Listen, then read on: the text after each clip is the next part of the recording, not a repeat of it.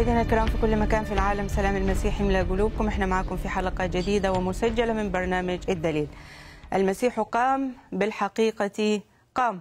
كل عام وحضراتكم بألف خير والمسيح القائم بين الأموات قادر أنه يملأكم بأفراح وتعزيات وبركات القيامة خلينا مع بعض على طول نشوف عنوان حلقتنا النهاردة. قيامة المسيح اخترقت الزمان والمكان. بالرغم من إننا بنتكلم عن قيامة المسيح من بين الأموات إلا إنه في سؤالين عن موت المسيح.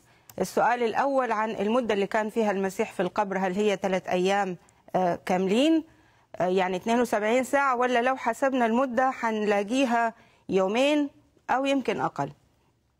الموضوع ده طبعا آه، إحنا تناولناه بتوسع في حلقة كنا بنرد فيها على الشيخ ديدات الحلقة رقمها 205 اللي يحب فيكم يرجع يشوفها. لكن النهاردة ممكن نرد على السؤال آه، بطريقة مختصرة. السؤال الثاني آه، ليه المسيح مات ثلاث أيام بالتحديد؟ ليه مش يومين بس؟ آه، ليه مش أربع أيام؟ أما عن القيامة نفسها فأول وأهم الأسئلة هو القيامة أفادت البشرية بإيه؟ الأسئلة دي وغيرها حنسمع إجاباتها النهاردة بنعمة المسيح. بنرحب بوحيد ونشوف موضوعنا النهاردة. أهلا بيك يا وحيد. أهلا فدوى وأهلا بكل الأحباء المشاهدين في كل مكان. الرب يبارك حياتكم جميعا وكل سنة وأنتم طيبين وبكل خير. والنهاردة شم النسيم أكيد الناس آه، ربما راجعة تعبانة من الحدائق. على كل إن الأيام بتجري بسرعة. النهاردة شم النسيم 2017 رب يبارك حياتكم. وبنغتنم كل فرصة روحية زي كده إنه إحنا نجدد آه، رجوعنا وثباتنا في المسيح يسوع له كل المجد كل سنة وأنتم طيبين طيب خلينا آه، يعني نسأل السؤال الأول اللي هو آه، هل المسيح كان ثلاث أيام في القبر ولا كان آه، أقل من كده؟ طبعا إحنا زي ما أنت ذكرت في المقدمة تناولنا الموضوع ده في الرد على صحيح. الداعية أحمد ديدات باستفاضة وبآيات كثيرة جدا أثبتنا مفهوم الثلاث أيام في الثقافة الدينية اليهودية من العهد القديم ومن العهد الجديد. نعم. ولحد النهارده بتستخدم في أماكن كثيرة في العالم حتى في آه، ربما حجز الفنادق في العالم النهارده جزء من اليوم بيحسب آه، يوم كامل. يعني نعم. الثقافة ما زالت موجودة. نعم. حتى بالمناسبة في الأعراف الإسلامية وفي الحسابات الإسلامية ممكن آه، آه، لمجرد إنه يكون مثلا حساب المدة خمسة أيام يكون هو في بداية اليوم الأول لا لا, لا يحسب مثلا يح- يحسبها خمسة أيام ولا يكون اليوم الخامس قد نعم. آه آه انتهى ولا حتى نعم. ممكن يكون اليوم الأول بدأ فالحسابات دي حسابات معروفة ولذلك حتى حينما قال الرب يسوع كما كان يونان في بطن الحوت ثلاث أيام وثلاث ليالي فمن الذي كتبها هل هم مكتوبة 72 ساعة مكتوبة برضو ثلاث أيام مم. فإذا حتى بحساب اليهود هذه الثلاثة أيام في نعم. بطن الحوت ليست هي 72 آه، ساعة. نعم. فاذا آه، آه، بنشوف كمان رؤساء الكهنة إنه إنه طلبوا حراسة القبر إلى اليوم الثالث. فاذا هم عارفين بحسابهم اليهودي إنه اليوم الثالث شكله إيه. نعم. كمان تلميذي عمواس لما قالوا للمسيح وهم ما كانوش يعرفوا المسيح بعد القيامة لأنه أمسكت أعينهم عن أن يعرفوه قالوا صراحة وهذا هو اليوم الثالث. نعم. يعني كمان حسبوه إنه ثلاثة أيام انقضوا نعم. فإذا بلغة الكتاب المقدس نعم هي ثلاثة أيام تحسب ليست 72 ساعة لكن يحسب جزء من اليوم الأول وجزء من اليوم الأخير. نعم. طيب آه، القيامة آه، خليني أقول بتعبيري أنا يعني هي أهم حدث في آه، منظومة الخلاص. العهد القديم اتكلم عن نبوات كثيرة عن المسيح آه، عن آه، ميلاده عن كينونته عن آه، صلبه. هل العهد القديم يعني حدث زي القيامة؟ ما تكلمش عن عن القيامة؟ لا طبعا. هناك نبوءات كثيرة جدا عن القيامة وأنا محضر جزء بنعمة الرب عن ال- القيامة للنبوءات. وكيف تحققت في ال- العهد الجديد يعني النبوة وتحقيقها. فدي جزئية مهمة عايز برضه أعلق على تعليقك أنه أهم حدث آه، لأنه بي- يكمل الأحداث يعني ال- المسيح آه، ولد آه، مسح صلب مات ليقوم. صحيح. إذا كل الأحداث دي بتتوج بالقيامة وطبعا الصعود إلى آه، السماء. فالقيامة بلا شك هي حدث مهم آه، جدا. نعم في نبوءات كثيرة وأنا هاخدها بسرعة لأنه آه، صلب الموضوع ما هواش النبوءات عن القيامة. ولكن علشان الناس آه، تعرف أنه للقيامة لها جذورها في العهد القديم. مكتوبة نبوءات. لكن إزاي حتحصل؟ كيف ستتحقق؟ نعم. هذا الموضوع يتبلور في شخص المسيح وفي كلام المسيح وفي قيامة المسيح. وفي الوحي في العهد الجديد. فإحنا حناخد النبوءات وتحقيقها. طيب. إذا لها جذور في العهد القديم. بلا شك كانوا يتكلمون عن القيامة. نعم. إذا في البداية أنا هاخد العنوان ده. يا ريت الأحباء يتابعونا. نبوءات القيامة. هي نبوءات يعني إذا في العهد القديم. بداية أخذ من هوشع ستة من واحد إلى ثلاثة. حينما يقول هلما نرجع إلى الرب لأنه هو افترس فيشفينا ضرب فيجبرنا يحيينا بعد يومين. هو هنا حتى يرجع لسؤالك. آه، عن الحساب اليهودي. يحيينا بعد يومين في اليوم الثالث يقيمنا فنحيا أمامه خروجه يقين كالفجر. يعني زي ما الفجر ده إحنا متأكدين انه بكرة طالع طالع ولاحظ الفجر مش الغروب مثلا. نعم. لأن المسيح هو بقيامته هو فجر جديد البشرية فإذا يحيينا بعد يومين ده تحديد كمان للقيامة حتكون إمتى؟ في اليوم الثالث يقيمنا. إذا القيامة في اليوم الثالث. هذه نبوة واضحة جدا في هوشع. وبالتالي مكتوبة. بالتالي في فهم ليها خاصة إذا وضعنا ده إلى جانب حزقيال لما تكلم عن العظام واللي هي دخل فيها روح وقامت نعم. برضه هي إشارة إلى آه، آه، القيامة. وبالتالي يشكل هذا الفكر اليهودي الديني نعم أن هناك قيامة. كيف؟ يتبلور في شخص المسيح. أيضا من ضمن النبوءات مزمور 2 7 و12 أن تبني أنا اليوم ولدتك. قبلوا الابن قبلوا الابن لئلا يغضب فتبيد من الطريق. أن تبني أنا اليوم ولدتك. وهنا بالقيامة أعلن المسيح وبقوة أنه ابنا لله لأنه أباد الموت. أعلن؟ أعلن طبعا لأنه آه، دي طبعا ال- ال- الصدى بتاعه واضح جدا في آه، روميا واحد. وإحنا أخذناه آه، قبل كده أنه آه، بالقيامة يعلن المسيح رب وإله وسيد وخلينا أقرأ طالما إحنا جبنا السيرة الكتاب المقدس موجود معانا نقراها بسرعة كده من آه، روميا واحد. وبيتكلم عن ال- المسيا ابن الله والمسيا آه، ابن آه، داود فيقول الذي سبق نقرأ في أرميا واحد آه، وال أرميا آه، آه، عفوا روميا واحد روميا. اثنين طيب. الذي سبق فوعد به بأنبيائه في الكتب المقدسة عن ابنه الذي صار من نسل داود من جهة الجسد. اسمع هنا. وتعين ابن الله بقوة من جهة روح القداسة بالقيامة من الأموات. يعني إيه تعين هنا؟ يعني أعلن يعني أظهر يعني أثبت أنه ابن الله بقوة. بقوة إيه؟ بقوة القيامة. يبقى إذن هنا أن تبني. أنا اليوم ولدتك ليس اليوم ولدتك. هنا بيتكلم عن الكلمة من الآب. لا بيتكلم عن آه، آه، آه، في عيون البشر في مفاهيم الناس أثبت وأعلن وأكد وببرهان أنه هو الابن كلمة الله. هل ده إحنا بس اللي فهمناه؟ ولا التلاميذ المسيح فهموا دي عن القيامة؟ أنا اليوم ولدتك. طب تعالي بص كده في أعمال 13 إن الله قد أكمل هذا لنا نحن أولادهم. إذ أقام يسوع كما هو مكتوب أيضا في المزمور الثاني أن تبني أنا اليوم ولدتك. يبقى إذا فهمت الكنيسة أن قيامة إذ أقام يسوع كما هو مكتوب. مكتوب إيه في المزمور؟ أن تبني أنا اليوم ولدتك. نعم. إذا الولادة هي قيامة آه، آه، هي قيامة المسيح في عيون الناس في آه، عيون البشر.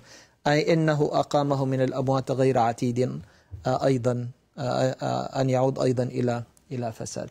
يبقى إذا هنا إحنا بنشوف النبوة وتحقيقها. نعم. النبوة أنت ابني أنا اليوم ولدتك. فهمتها الكنيسة إزاي؟ وحينما أقول الكنيسة أقصد تلاميذ المسيح الكنيسة الأولى الكنيسة نعم. الأولى. نعم. آه فهموها أنت ابني أنا اليوم ولدتك كما هو مكتوب في المزمور الثاني. أنت ابني أنا اليوم ولدتك بالقيامة.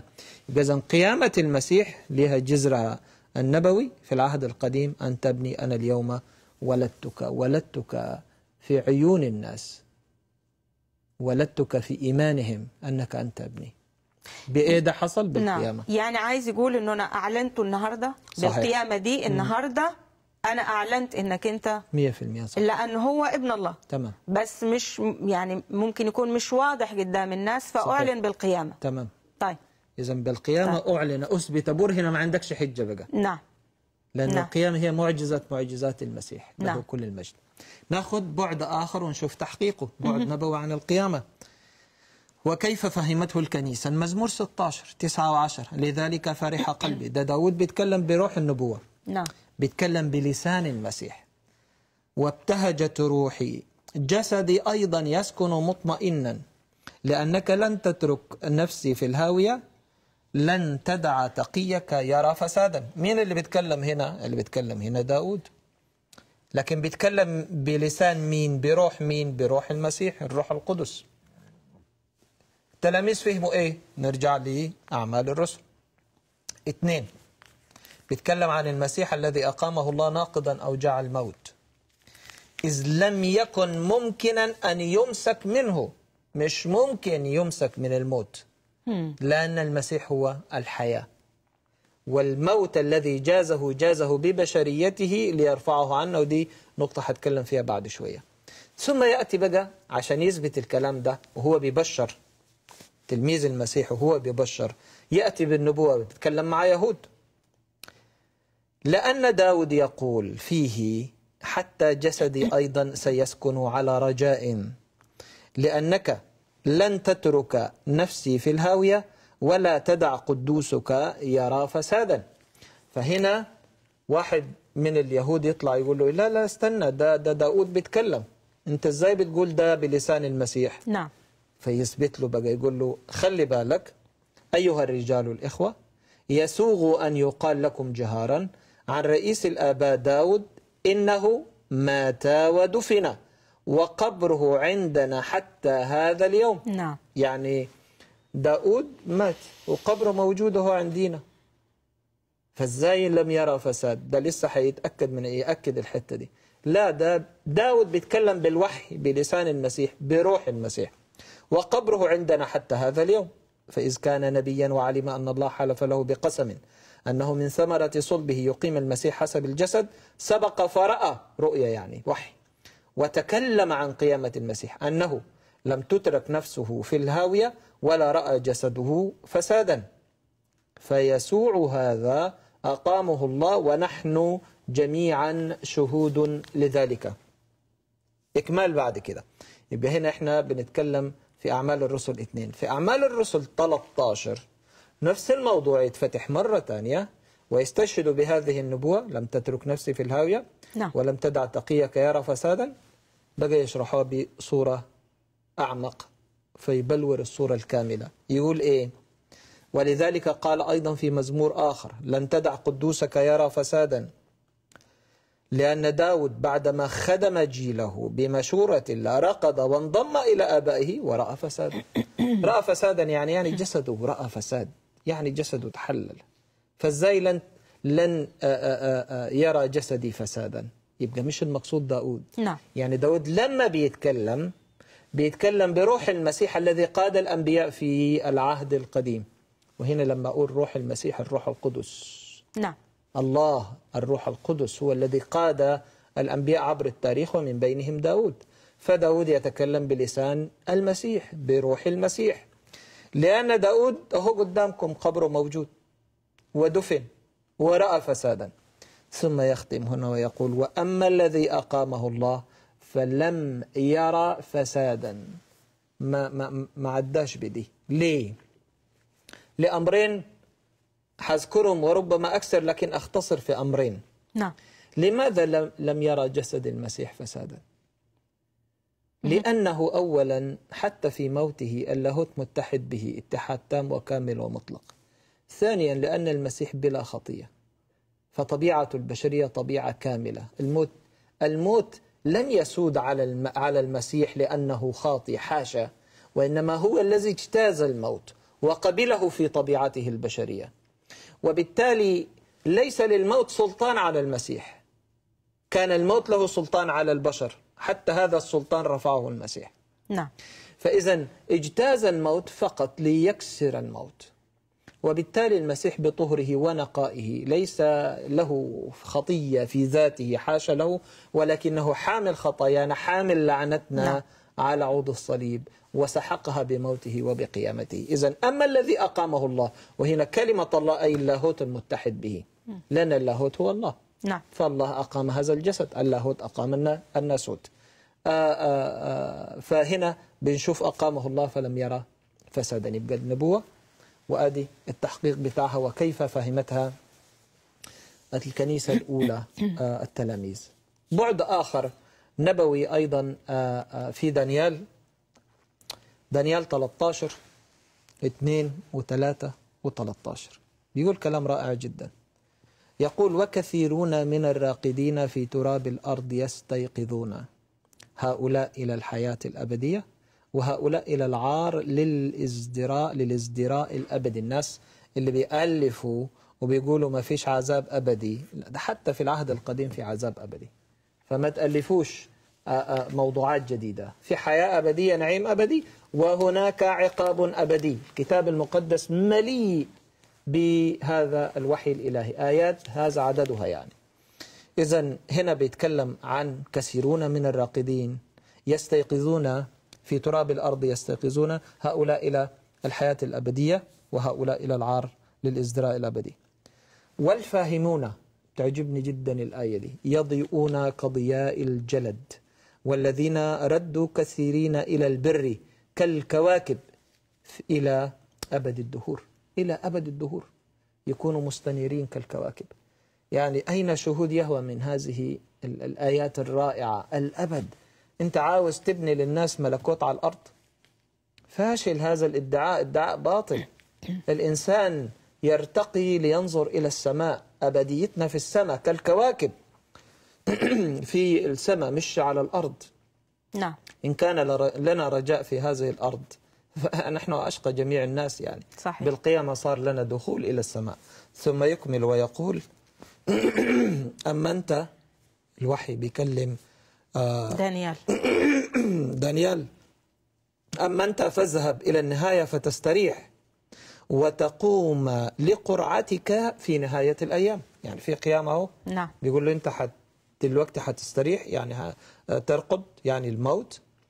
لكن ستقوم لقرعتك في نهاية الأيام. هذا كلام دانيال النبي.